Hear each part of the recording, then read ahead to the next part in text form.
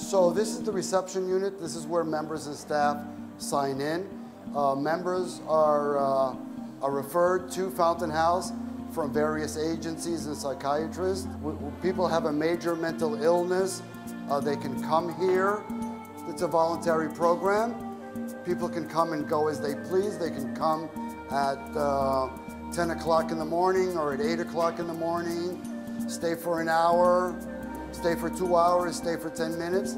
That's the voluntary nature of the program, which is very respectful of, uh, of people and their needs.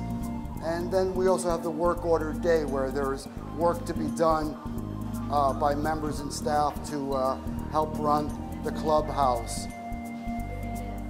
So this is the horticulture unit. Uh, we are uh, responsible for all the plants, uh, both inside and outside the clubhouse. We have uh, four gardens we take care of.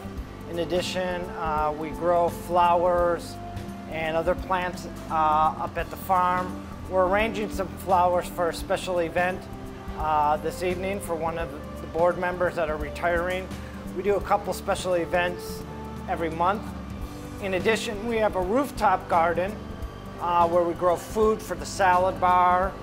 We have a hydroponics room back over here where we grow about 16 pounds of lettuce a week, also for the salad bar, uh, because uh, having access to organic, healthy food is not an option for many of our um, members uh, due to the fact that it's quite expensive, especially here in Manhattan, to receive that.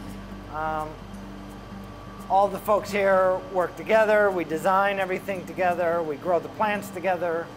Uh, none of us are trained horticulturalists, uh, but we all kind of work together to produce, uh, you know, a, a, a thriving horticulture uh, experience here at Fountain House, providing both food and beauty uh, to the clubhouse.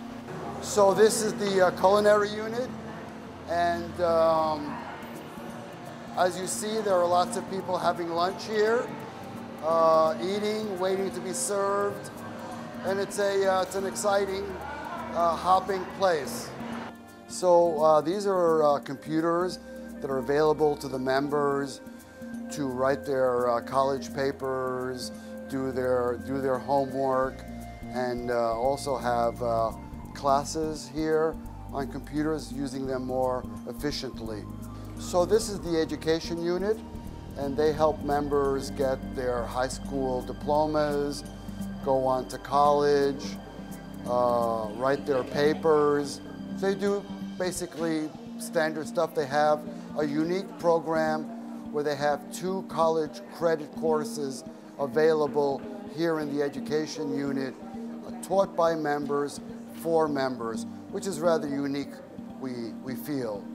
This is our jobs board. This is where members can come uh, to look for a paid job, which is rather unique to the clubhouse model. Uh, these are called transitional employment, also sometimes called supported employment. Like I said before, these are paid jobs that, uh, that people uh, with a mental illness are doing in order to, uh, uh, to move on with their lives to bigger and better things. Here we have companies listed, and of course it continues over here. This is the, uh, the position in the company that's available. Here at Fox TV, it's loading dock, mail clerk, and shredding or shredding. Uh, the member, these are the members that are working at Fox at these positions. The placement managers are the Fountain House staff that uh, sort of help the members do their job at, at the companies. So this is a, a map of the world with all the clubhouses pretty much listed on, on the map.